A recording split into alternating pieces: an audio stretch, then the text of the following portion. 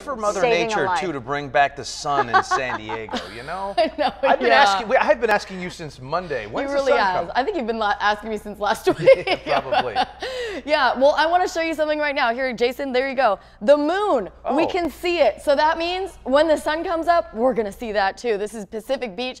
That moon shining so brightly over the Pacific Ocean. And we're clearer along our coastline than our valleys right now. So we're going to see clearing from the coast into our valleys as we head through our morning. It should be an absolutely gorgeous sunrise. I can't wait to see your pictures. You could tweet me at 10 News Parry. As far as temperatures go, it's mild again, right about 59, 60 degrees for most of us, 56 in Vista, one of the cooler spots, 50 in Alpine. So the sea breeze is still with us. It'll be breezy this afternoon. Could see gusts up to about 25 miles per hour, pretty much anywhere in the county.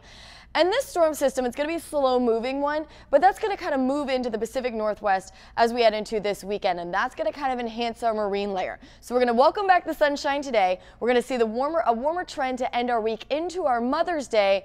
But May Gray, we're not out of the woods just yet. In fact, Sunday, Mother's Day, kind of going to be our transition day. So we may see some stuck, stubborn clouds stick around our coastline. Temperatures will be in the mid to upper 60s through next week along our coast. And drizzle can't be rolled out Monday and Tuesday out of the marine layer. And we could even see some stray showers coming through on Wednesday.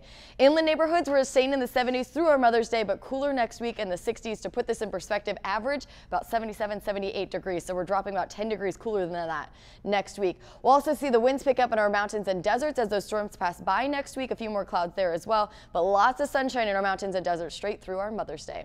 Kalina?